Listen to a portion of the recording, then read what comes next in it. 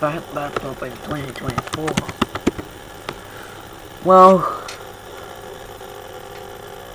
I reinstalled Windows since November 2025.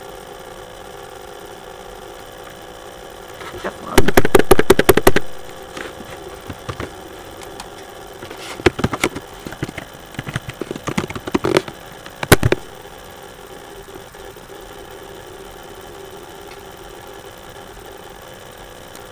You gotta look. Until it's in the current version of Windows 10. I'm gonna port. Why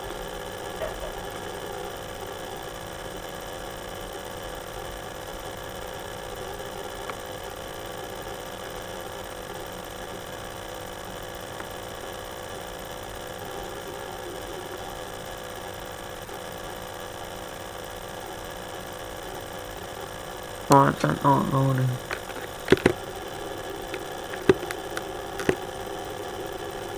And now it's loaded. It's on Windows 10 since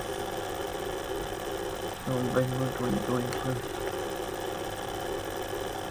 And the current version is in 22H2. So, yeah. That's much it.